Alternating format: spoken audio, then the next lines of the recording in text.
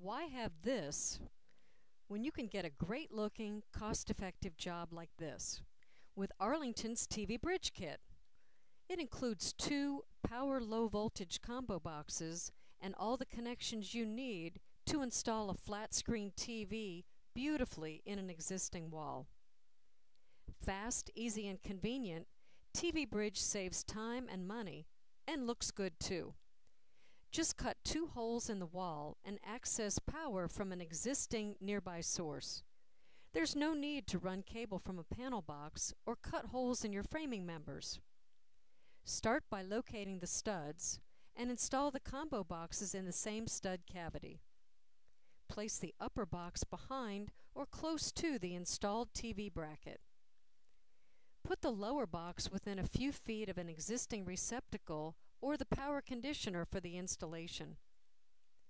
Pull a length of NM cable long enough to reach the two, then pull the low voltage coax or other wires and install the plates.